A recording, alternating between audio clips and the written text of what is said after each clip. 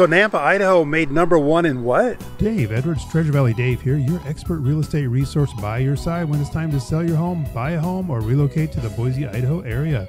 You'll find the Treasure Valley Dave team office centrally located right here in beautiful Nampa, Idaho. Now, back to the video. Hey, Dave Edwards, Treasure Valley Dave here. And yes, it's true. Nampa again has been found to be the best run city in the entire United States. We're not surprised, those of us that live here. Hey, maybe you can live here too. Anyway, did you know that um, one of the reasons that Nampa is the best city in the entire country is because we have the second lowest long-term debt per capita.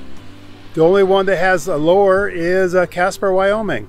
I don't know why that is, but that's not enough to make me move to Casper. But it is enough to make me be happy in Nampa. Yes, that's right. WalletHub has again said that Nampa is the best run city in the United States. So here we have the recent article, and talks about um, some of the things that make up what it takes to be the best run city in America. Um, and they measure the effectiveness of our local leadership.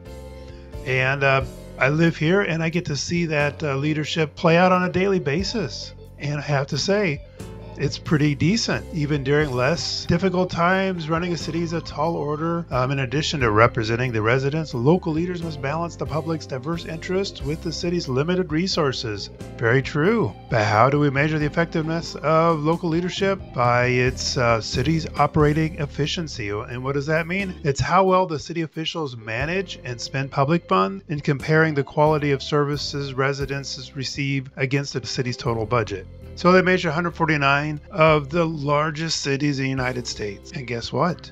Best run cities in America, number one, Nampa, Idaho. And then you can slide down a little bit and we see number four spot is Boise. Uh, moving on down, um, some other decent places, but I can, I've been to a lot of these places and that wouldn't be my first choice particularly because you know I'm getting older and it's that weather thing. I just like it where there's not storms and tornadoes and high humidity that just kills you when you walk outside. I don't mind a little bit of snow, and that's what we get here is just a little bit of snow. Moving on down, we can see how uh, they progress. They get a little bit worse and worse.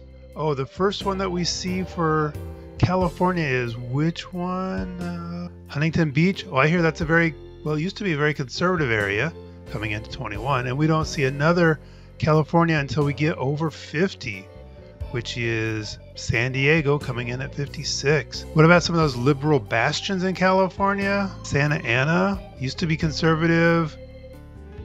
Fremont, okay, we're starting to get to the Bay Area there.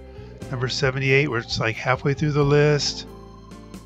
And we still haven't seen that many from California, and we're halfway through the list. Anaheim, I'm sure Disneyland helps pro- uh, provide a huge budget down there, right?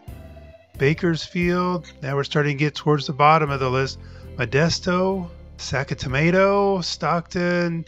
Wow, we're starting to get pretty heavy on California the closer we get to the bottom of the best run cities in America. Ooh, coming in at the dead last.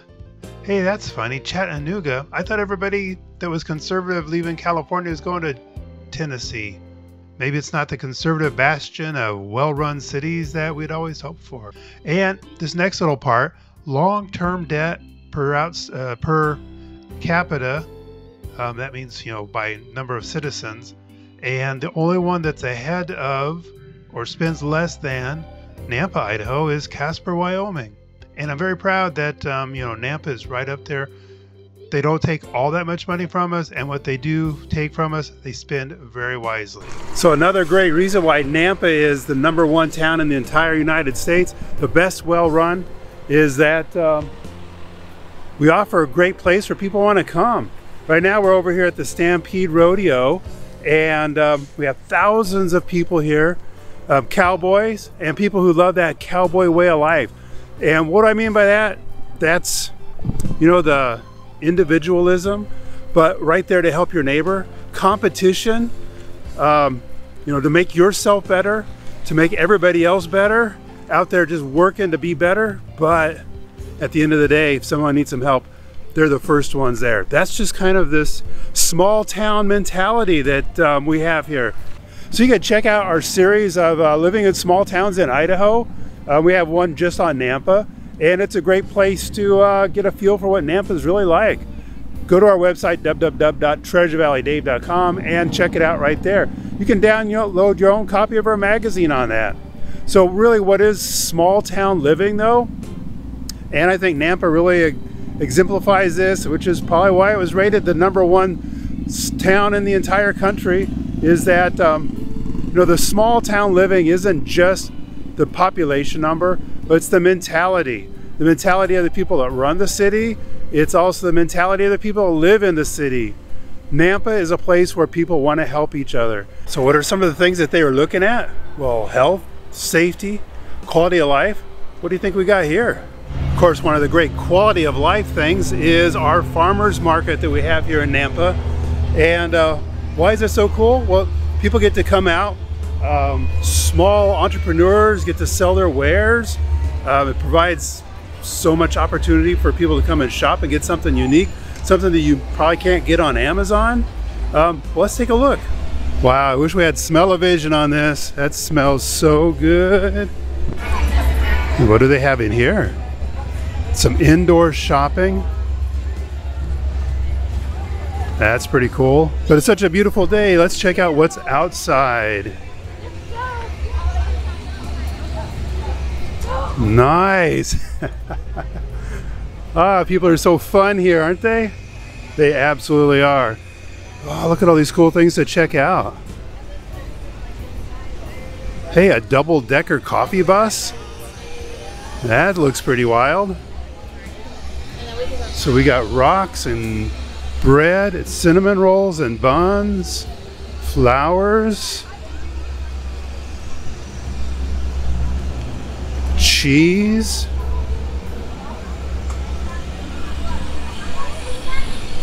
Always so much stuff to check out over here. Brisket, oh my gosh.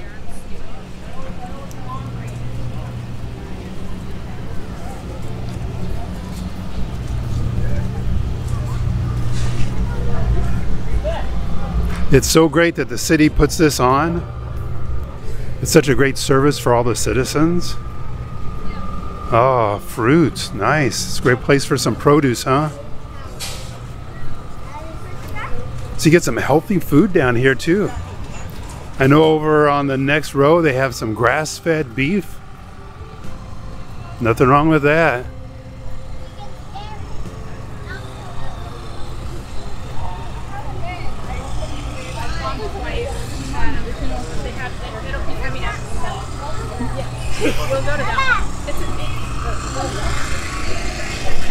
So you know what I don't see down here?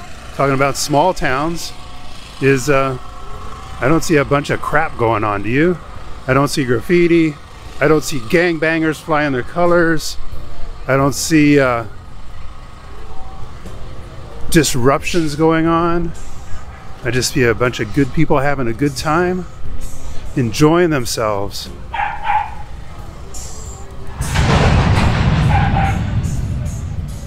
Wow, they're going to have some live music down here in a little bit. Nice.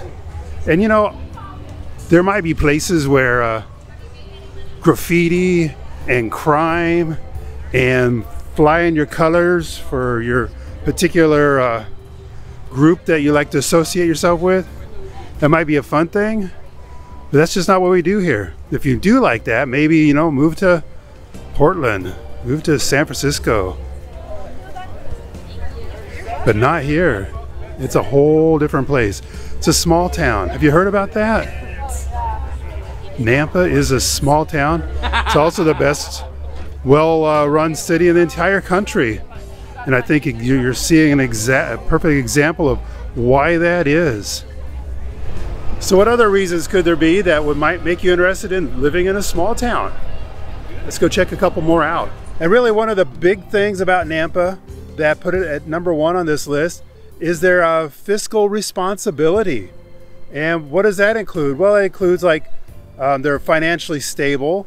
Um, they spend money on the right things.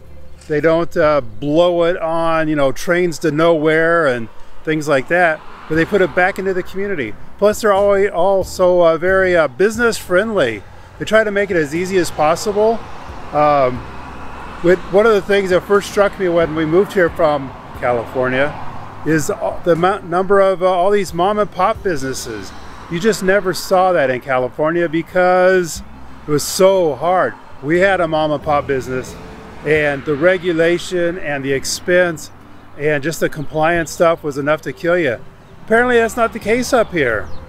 So thanks for coming along with me on this journey today, um, helping us celebrate all that's great about Nampa and just another really good reason why Nampa is such a great place to live. It's number one in the country, you know.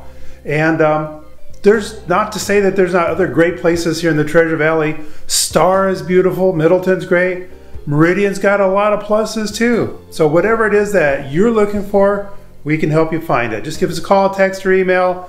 And as always, looking forward to helping you get home. Treasure Valley Dave here. Thank you for checking out this great video. Can I ask you, what problem do you have that I can help you with?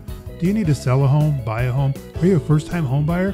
Maybe looking to relocate to the beautiful Treasure Valley from some other state? The Treasure Valley Dave team is your expert by your side here to help you solve your real estate problem. You can contact us through our website or give us a call or text at 208 860 2004. Now go ahead and subscribe and ring that bell so you don't miss any future videos. For more education and entertainment, check out this great video next or binge on this playlist.